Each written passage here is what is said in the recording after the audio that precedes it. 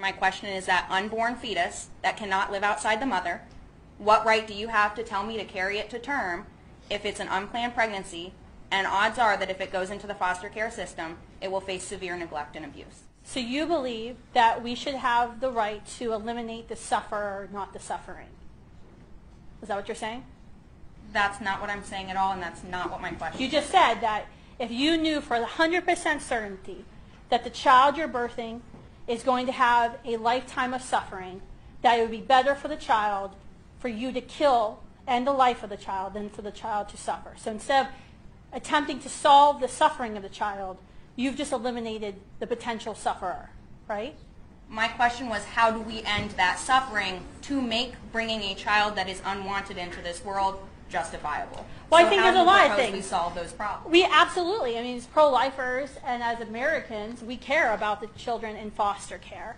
We care about children who are being neglected, who are living on the streets with their parents.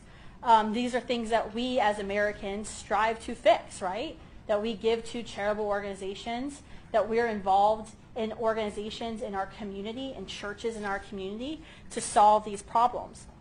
So I actually don't believe anyone in this room, uh, regardless of whether or not you're pro-life or you're pro-choice, uh, thinks that children should be suffering uh, in foster care or children should live through uh, hunger or homelessness.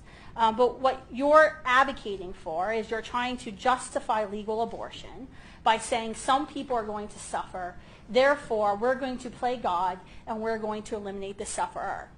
I think that's absolutely wrong. One, because people come out of adver- adversity.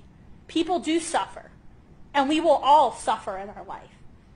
But I think it's wrong for you to say, you will suffer, therefore I'm going to kill you.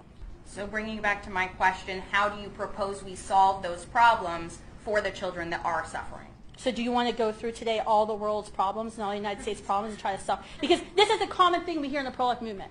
You're pro-life, but you don't care about people once they're born. You don't care about women after they're born. In fact, if you have to be pro-life, we have to do 30 different things. Yet, are you upset that the American Diabetes Association doesn't fight cancer? I specifically simply asked about Do you, are you upset system. that the American Diabetes Association doesn't fight cancer? No, Why? because they are the Diabetes Foundation. Exactly. I'm the anti-abortionist. Next question. That's the next question because you just answered my. You just you Where I asked for a proposed solution to our issues in foster care and child see, homelessness. okay, we can have a debate. I can do a whole lecture about foster care. We can do a whole lecture on homelessness. These are great problems that we face in our nation, right? These are dilemmas that we face. And there's different policy prescriptions for how to solve those things.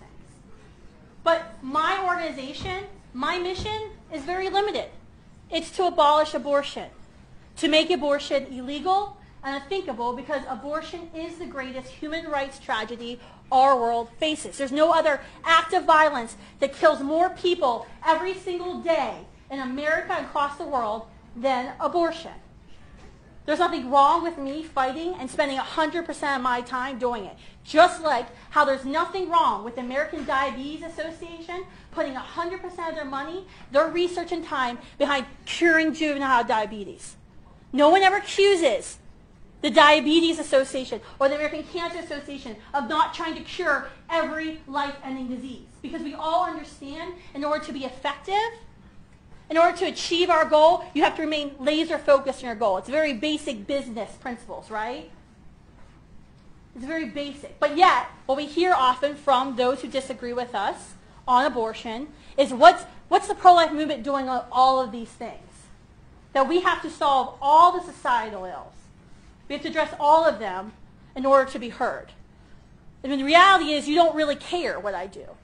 That I support children in third world countries, or that I might be volunteering at a soup kitchen, or many people in the pro-life movement are actually, they're the foster parents, uh, they're leading the adoption efforts. It's, it's just an argument to try to stop the actual discussion from happening, which is abortion is a moral wrong and sh- it should be stopped.